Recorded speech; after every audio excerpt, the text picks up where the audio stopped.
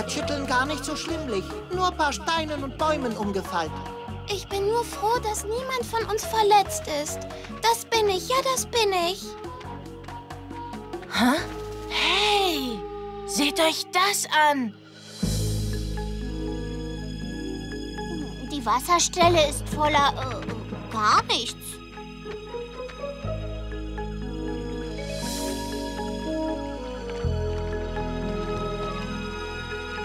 Hier ist auch kein Wasser. Nein, nein, nein. Kein Wunder, dass der Teich leer ist. Das schnelle Wasser ist auch nicht mehr da. Also, wenn ihr mich fragt, ich würde sagen, das Erdschütteln hat das gemacht.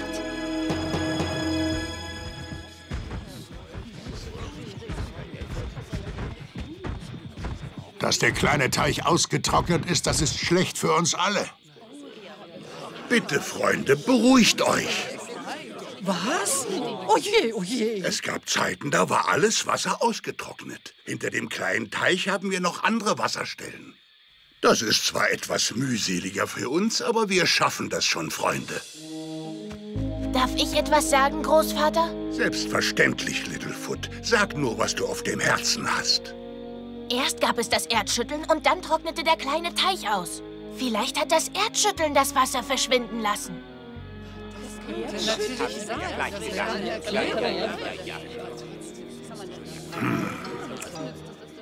Das Wasser ist weg. Was spielt das für eine Rolle?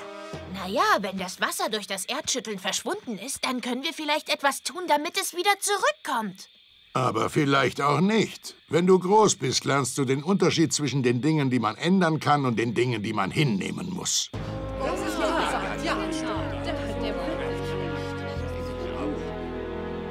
Tja, alle hier scheinen dir zuzustimmen, Vater Dreihorn. Mhm.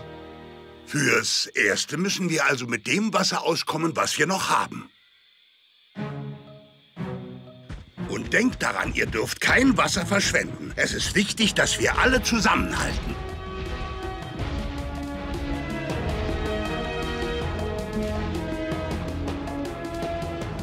Ich finde, wir sollten etwas unternehmen.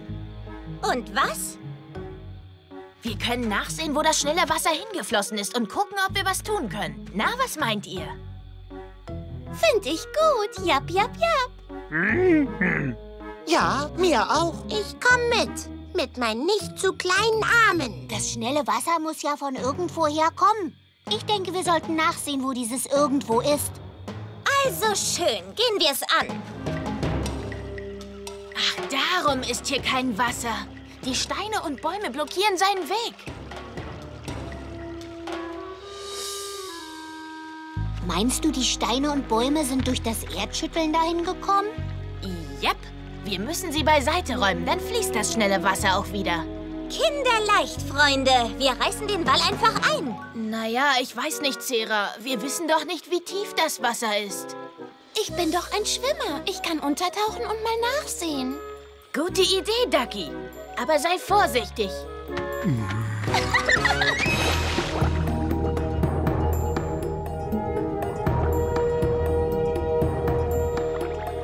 Hey, was ist das schwimmende Ding da, das nicht Ducky ist? Oh nein, das vielleicht ein scharfzahniges, schwimmendes Schafzahn? Ich weiß es nicht. Wir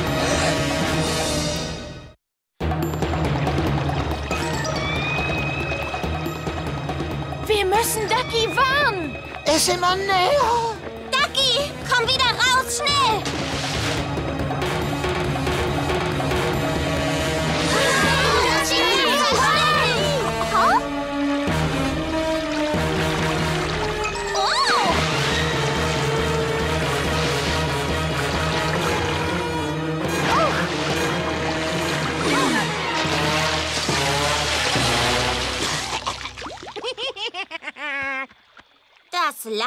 Kenne ich doch. Das ist Mo. Hallo, meine Schlammbrüder. Du hast uns erschreckt, Mo. Entschuldigung. Mo hat sich beeilt, um Hallo zu sagen. Mo wurde unser Freund, als das große Tal überflutet war. Mo, das ist Chomper. Und das ist Ruby. Hallöchen. Hallo, Mo. Hallo. Jeder Freund von Littlefoot ist ein Schlammbruder von mir. Wie kommst du vom großen Wasser hierher, Mo? Mo hat neues Landwasser gesehen und gehofft, es würde ihn zu seinen Matschbrüdern führen. Also ist Mo losgeschwommen und hat euch gefunden. Oh je, Mini. Das schnelle Wasser hat den ganzen Weg vom großen Wasser zurückgelegt. Mo und Schlammbrüder treffen sich wieder hier zu jeder Zeit. Aber weißt du, eigentlich gehört das ganze viele Wasser ins große Tal. Oh ja, oh ja. Ja, du hast recht, Ducky. Über unser Wiedersehen hätte ich das beinahe vergessen. Wenn Littlefoots Läuferfreunde Wasser brauchen, hilft Mo. Siehst du diesen großen Wall da? Er hält das schnelle Wasser zurück. Ja, aber wenn wir ihn zerschmettern, dann wusch, fließt das große Wasser wieder ins große Tal. Das mag Mo nicht. Mo hat recht. Wenn das ganze Wasser auf einmal abfließt, dann ist er im großen Tal gefangen. So wie viele andere großes Wasserschwimmer. Und was wollen wir jetzt machen? Wir müssen nur so viel Geröll wegräumen, dass das Wasser langsam weiterfließt. Dann hat Mo genug Zeit, um zum großen Wasser zurückzuschwimmen. Littlefoot ist klug. Sind deine kleinen Arme bereit zuzupacken, Chomper? Das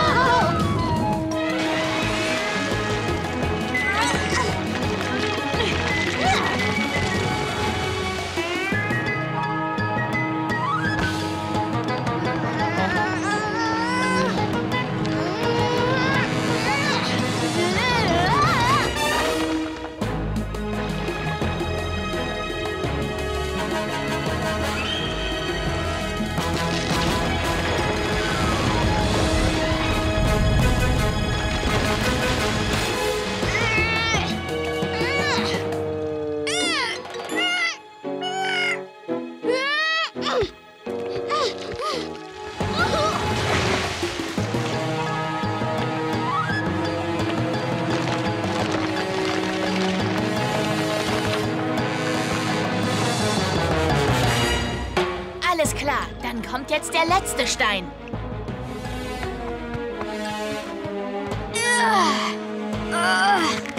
Spikey, ich brauche deine Hilfe. Willst du denn nicht meine Hilfe? Äh, Chomper, ich glaube, das ist keine Aufgabe für dich. Ich weiß schon, ich weiß. Meine Arme sind viel zu klein. Na schön. Los, komm, Chomper. Versuchen wir es gemeinsam.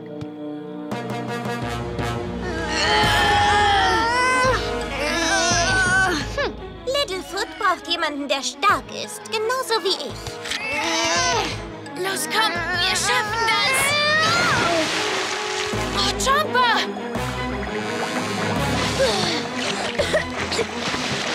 Mo hilft. Ich auch.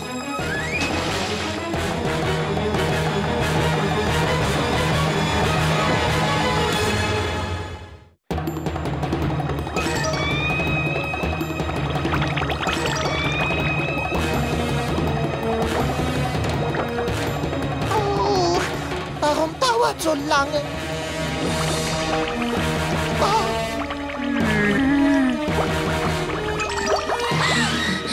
Chomper hat sich in den Schlingpflanzen verfangen. Zeig mir, wo Chomper ist. Ja, mir auch.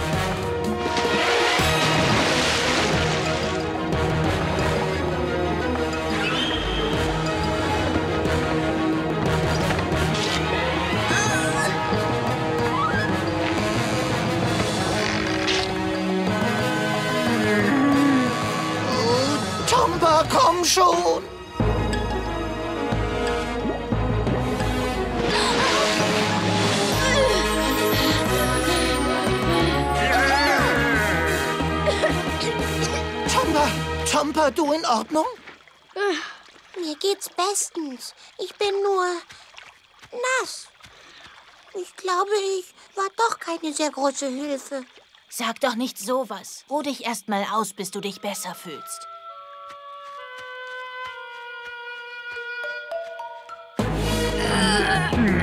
Es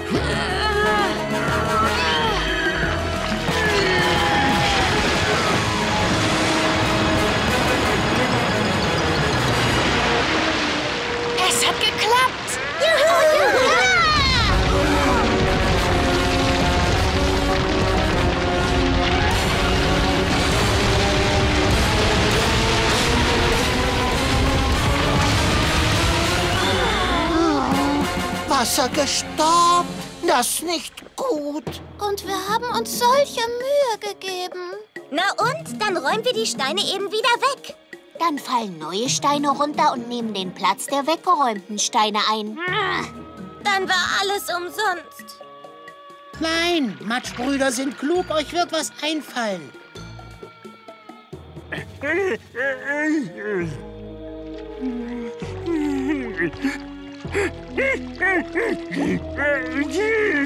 Spike, das ist der falsche Zeitpunkt, um zu trinken. Nein, Spikey möchte uns was zeigen. Da läuft Wasser aus dem Baumstamm raus. Na und?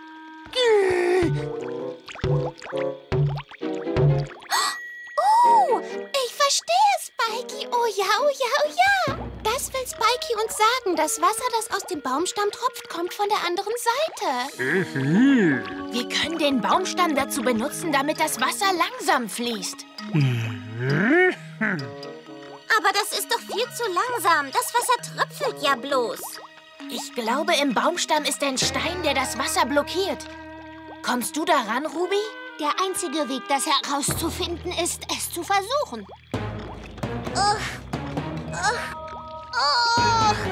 Du kommst daran, Ruby. Deine Arme sind die längsten. Du schaffst das schon. Hey, Ruby. Ich sehe den Stein, der das Wasser blockiert. Ich sehe ihn auch. Äh, Meine Arme sind zu kurz. Ich komme nicht an ihn ran. Aber von hier aus müsste es gehen. Das könnte ich schaffen, wenn ich da durchkommen würde. Aber das Loch ist zu klein. Mein Arm passt da nicht rein. Aber vielleicht passt mein Arm rein.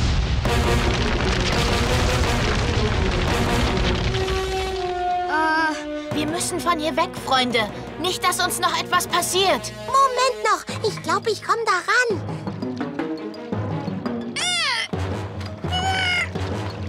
Ich bin dran. Komm schon.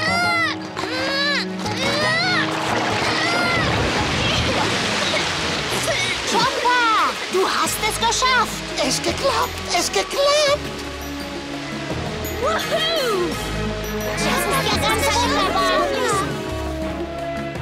Ohne dich hätten wir das nie hinbekommen, Chomper. Was soll ich sagen? Dann sind ja deine kleinen Arme doch zu was Nütze. Gut gemacht, Chomper.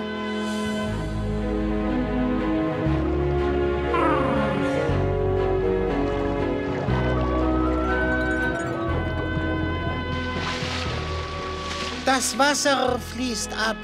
Mo muss gehen. Du hast recht, Mo. Wir müssen auch gehen. Wir werden dich vermissen. Sei nicht traurig, Littlefoot. Bis bald, Schlammbrüder. Mach's gut, Mo. Danke für deine Hilfe. Hoffentlich sehen wir uns bald wieder. Das hoffe ich auch. Vergesst mich nicht.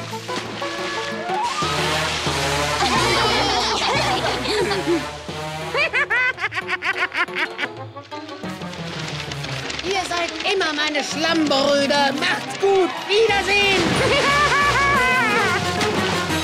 Mach's gut. Man nett, dich kennengelernt zu haben. Wir sollten jetzt auch nach Hause gehen. Los, kommt.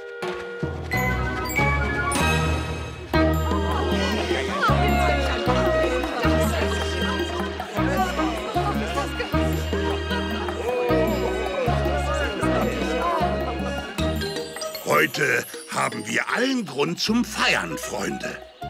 Das schnelle Wasser ist zurückgekehrt. Und das haben wir unserem Nachwuchs zu verdanken.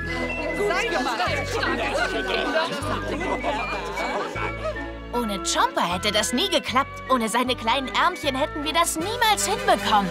Kleinen